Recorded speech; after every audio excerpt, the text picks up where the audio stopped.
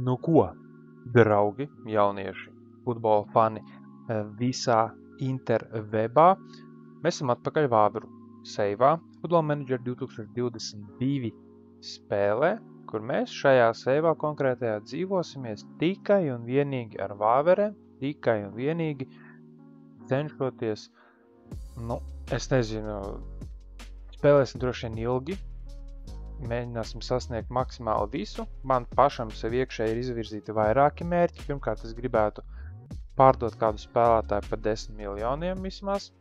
Un kaut gan, ja atcerās, kā gāja Football Manager 2021 seivā, no, jeb spēļu sērijā no sētas līdz, tad tur mums bija tāds uh, spēlētājs uh, Levants Karaišvili, kurš aizgāja pa 11 Šķiet, ka pa 11 miljoniem, jā, tā tas varētu nebūt pārāk grūts uh, uzdevums. Otrakārt, uzbūvēt Baldonē stadionu ar uh, vismaz 10 tūkstošu sēdvietām. Trešais, iegūt Champions League titulu. Ceturtkārt, pārspēt laikam Skonķika uh, leģendāro rezultātu ne tikai kopā iegūto virslīgas titulu skaita ziņā, bet arī pēc kārtas iegūto titulu ziņā. Ja nemaldos, tagad es, ā, es īstenībā mēs varam pamēģināt paskaitīt. Mēs varam mēģināt paskaitīt vēsturiski, cik tad skonķikam ir bijuši. 1, 2, 3, 4, 5, 6, 13 pēc kārtas iegūti tituli. 14 kopā. Šobrīd 3 pēc kārtas ir RFSam. Reālajā dzīvē šis te 3 titulu skrējiens ir pārtraukts, kad RFS beidzot eh, iegūt titulu. Bet jā, tātad mums ir jāiegūst, pats jau aizmirst, cik bija 1, 2, 3, 4, 5, 6, 7, 8, 9, 10, 11, 12, 13. Mums jābūt 14 reižu pēc kārtas Latvijas futbola virslīgas uzvarētājiem, kā arī, kā arī uh, kopumā jāpārsitas konķiks.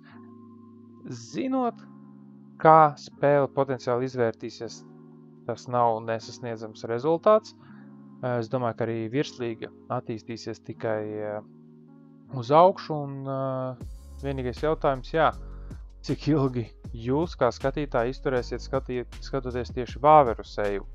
Bet tas nozīmē, ka nu, 14 uh, eh, sezonas, proskaitot vismaz 15, vismaz, būs jāskatās.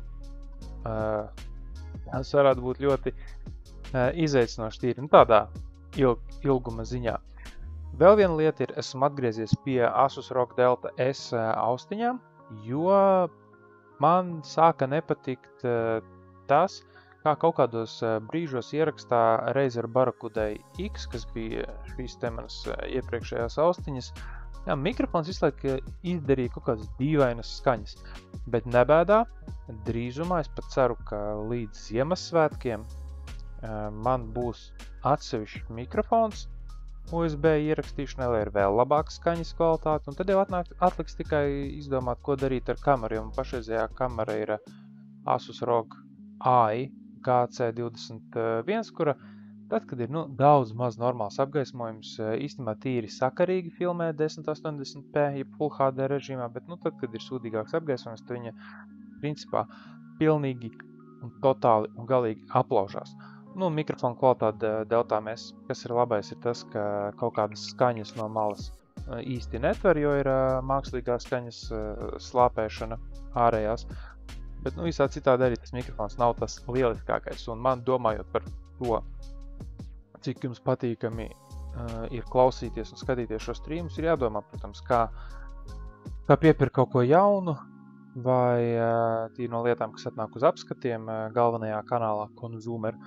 Uh, tad ko es varētu ielikt šeit, šajā kanālā un paralēli tad arī tie, kam varētu potenciāli interesēt sākt streamot kaut kādas spēles, Jūs saprast un reāli arī dzīvē redzētu, ar ko tad uh, streameri, jeb uh, YouTube gameri strādā vai nestrādā. Ok, atkal garš ievads. Ķeramies pie spēles, kas mums šodien ir.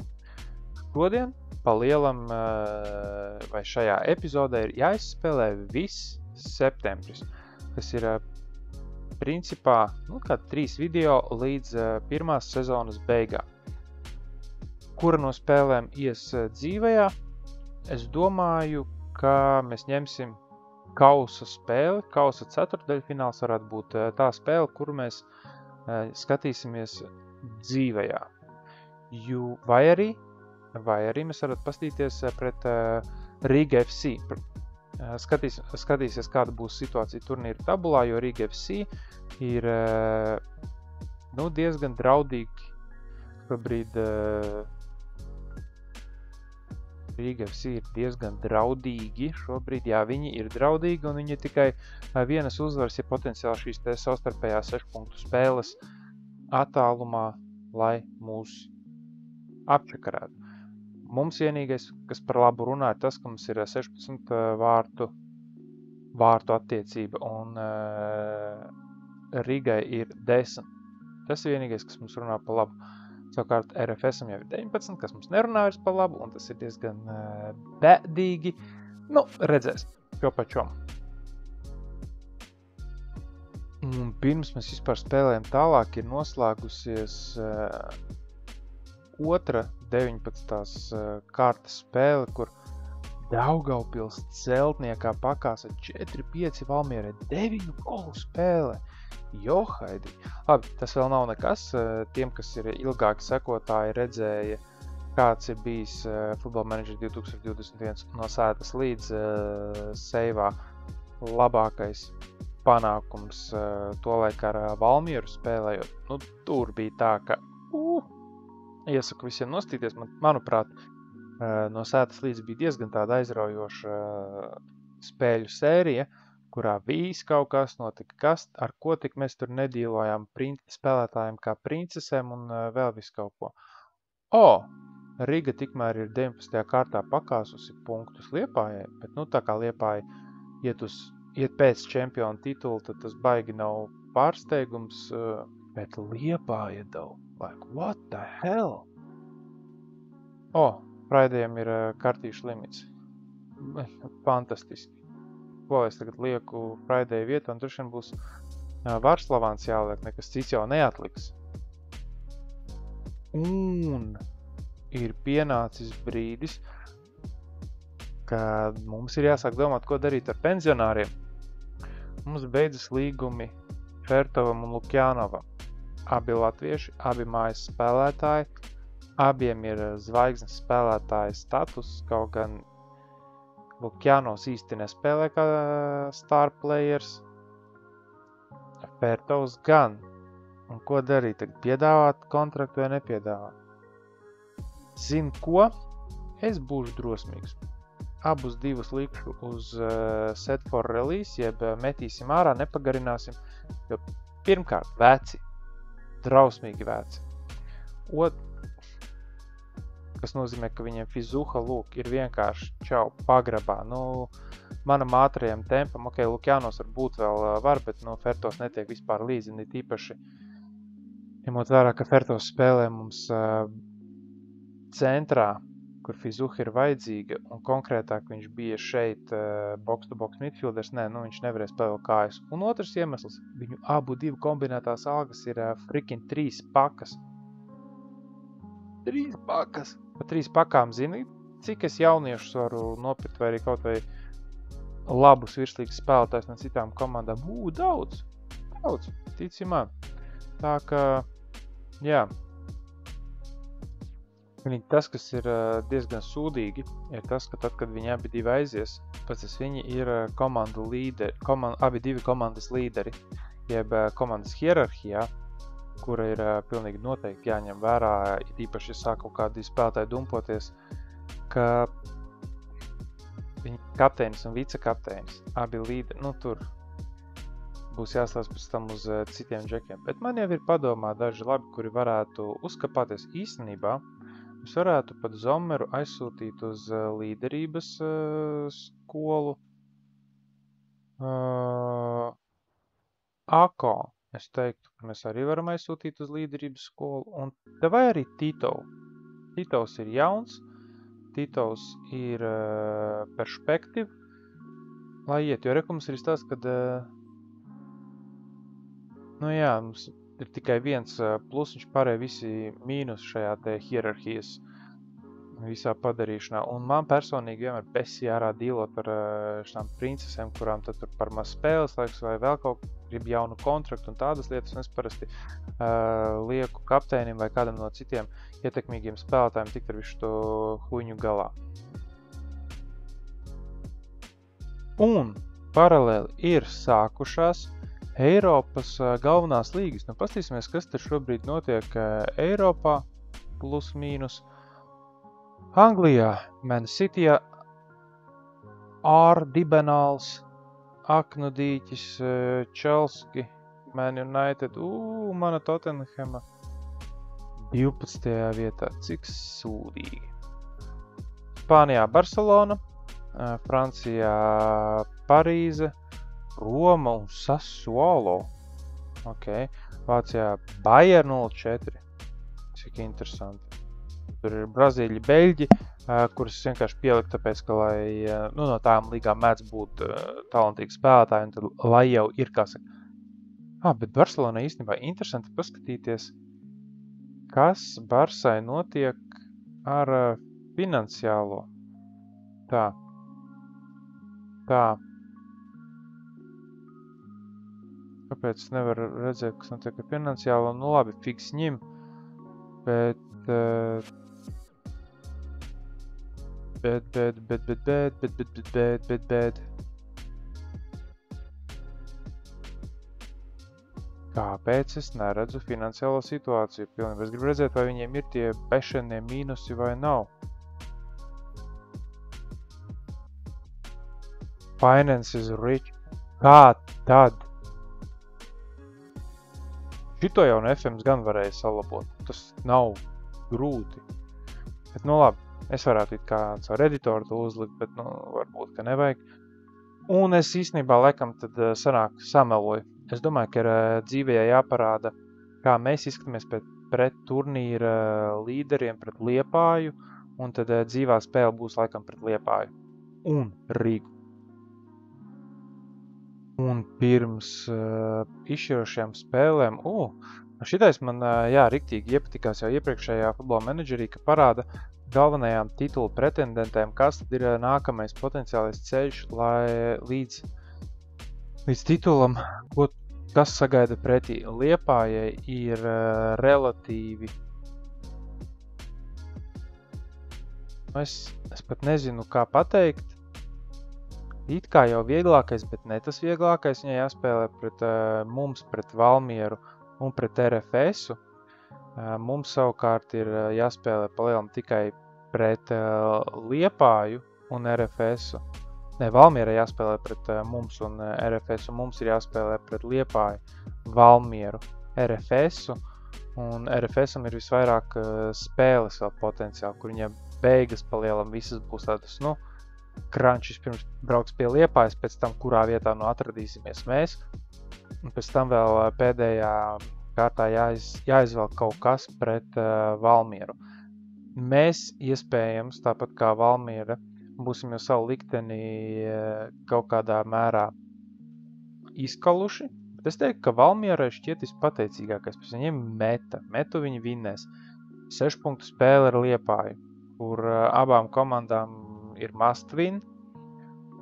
Tad esam mēs, kas varbūt var patraucēt, varbūt nevar patraucēt, un tad ir uh, Riga un RFS, uh, kurām vēl ir pašām savā starpā jāspēlē, un RFS, kuram ir vēl pret visiem citiem jāspēlē, līdz ar to tās spēles Valmierai varētu neko uh, baigi neizšķirt, tā ka Valmieras galvenās spēles ir, es teiktu, Liepāja mēs, Liepājai noteikti mēs, Valmiera varbūt RFS, mums pilnīgi visas, Un RFSam nu, arī tur vienkārši nu, tur ir jākapājās viņiem.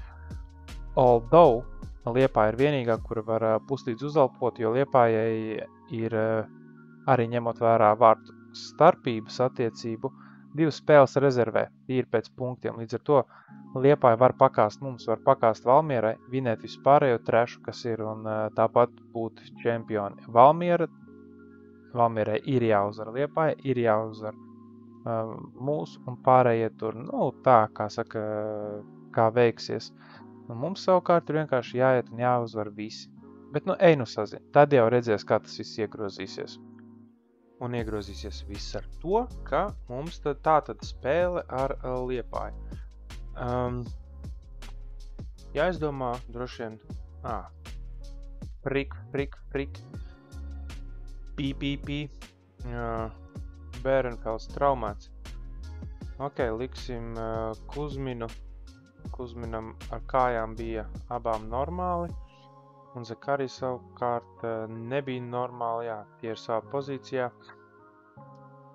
Mm, Fraidejs, nu, Fraidej vietā tad iet uh, Varslavāns, Un tukšajā vietā drāznieks un vēl vienu var ielikt, nu, Mironovs varētu iet. Mirono varbūt Kingas vietā, ja viņi abi ir vienādi. Man pastīsimies, ar ko uh, viņi viens no otra atšķirās. Es gribētu uzlikt nedaudz uh, vairāk uz aizsardzību vērstu, Bet, hmm, abi divi ir caurmērā līdzīgi. Nu labi. Es došu laikam priekšroku Mironovam. Tajā spēlē viņš ir maķenīt, labāks visās situācijās. Nu, ko tad? Dodamies uz maču mums Baldonai nav pārāk tālu jāiet uz spēli. Liepai gan bija bišķiņa jābrauc. Mēs atkal izstieptām, pa paplivināsim rokas apkārt un sākam kick-off. Komandas dodas laukumā un spēle ir sākusies. Pirmās 5 minūtes bez nekādiem ievērojamiem situācijām un Liepājai jau ir bijis sitiens vārtu virzienā, divi sitieni vārtu virzienā, trīs sitieni vārtu virzienā, viens vārtu rāmī, četri vārtu virzienā, 20 minūtes pagājuši un beidzot arī mums šis tas parādās, piespēja precizitāte ir caurmērā līdzīga, bet Liepāja mūs totāli bombi. Tā, es iedrošinātu džekus, Malovičs tikmēr izmetīs autu, Zelenkovs atdod Ako, Ako Malovičam, Malovičs iecentrē un... Marko Rēgžā. Par to tev maksā, puika, par to tev maksā. Gols esam vadībā pret Liepāju, varam vēlreiz pabaudīt šo te uh, burvīgo golu starp trījiem izlec ar galviņu malacis. Un tuvojās pirmā puslaika noslēgums. Mēs ar neto žilbinošāko statistiku, bet esam eh, vadībā. Un tā arī noslēdzās puslaiks. Ja mēs paskatāmies taktiski, kā tad iet mūsu špīleriem. Mironovam caurmērā ok, bet flangi sako. Flangiem ir diezgan bēdīgi. Prieks, ka centrs arī turās. Varētu pat tuvoties septiņi atzīmei par spēli. Nu tad atkal paplivinās uh, rokas un turpinam smagi strādāt un varbūt mēs šo spēli izvilksim. Sākam otro puslaiku. Mums, starp citu, ir trīs sitieni jau uh, vārtu virzienā bijuši. Es vēlreiz iedrošināšu komandu. Nav ko baidīties zēni no Liepājas. Liepāja visu caur centru vada. Mums savukārt ir flangi izteikti. Un uh, tur kaut ko Liepāja nelīdz galam pārliecinoši dara. Ikaunieks centīsies ar uh, saspēlēties ar bagu kaut ko izveidot. Uh, ķigurs atdod atpakaļ. Ikaunieks izraujās. Noda laukumā sitiens gols. Jā, viss. Ikaunieks.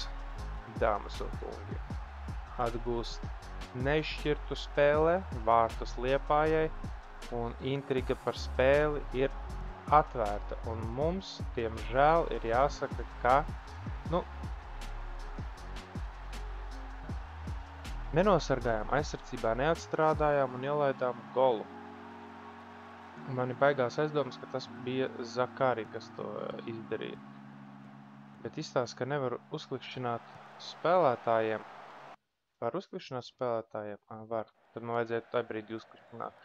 Spēlē baigi grūti starp spēli notrāpīt, uzklikšķināt uz spēlētājiem, lai saprast, kurš ko ir izdarījis. Uh, bet nekas, mēs vēlreiz iedrošināsim komandu. Es varētu pat īstenībā pastīties, kādu taktisko maiņu varētu izdarīt. Es teiktu, ka es uzlaidīšu atkal mamma Tito vietā, ka atkal ir celtnā kartiņa. Mēs redzam, ka Varslavānam galīgi neiet. Labi, ja viņam tik runtīgi iet, tad es uzlaidīšu Lukjāno Varslavāna vietā. Uzbrukumā nevienu nevajag. Jā, pietiks pagaidām ar šādu maiņu. Uzlaidām pieredzītas. Tā, lai novada maču līdz uh, beigām. Cerams, ka tas atmaksāsies. Tāda Zakari uzņēma bumbu, kā ballplaying defenders iet uz priekšu, viņš pat tālu jau iet uz priekšu, tagad Kuzmins ies tikpat tālu uz priekšu, viņš pat tālu iet uz priekšu, atdod Ako, Ako laužās soda laukumā centrē un... Oh, oh. Ko? Kāds disallowed?